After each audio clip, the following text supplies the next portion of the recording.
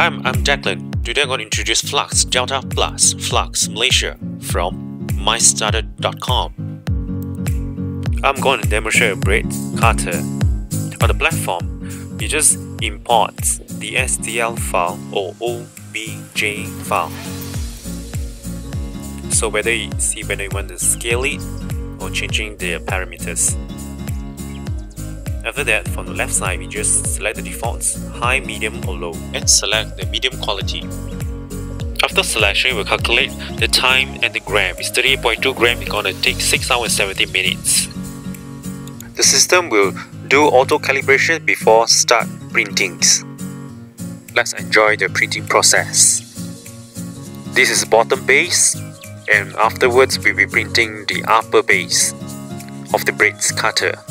You can use it as a cookie cutter as well. The demonstrations on how to use the braid cutter after printings using Flux Delta Plus.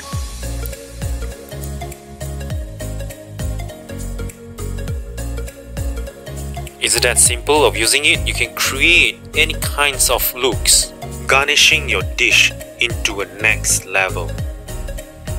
One of the stencil printed using Delta Plus you can use on the braids, cappuccino, cakes, or even on the plate as a design.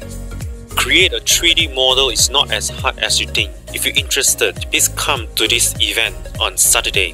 The expert will teach you the easy way to create your models.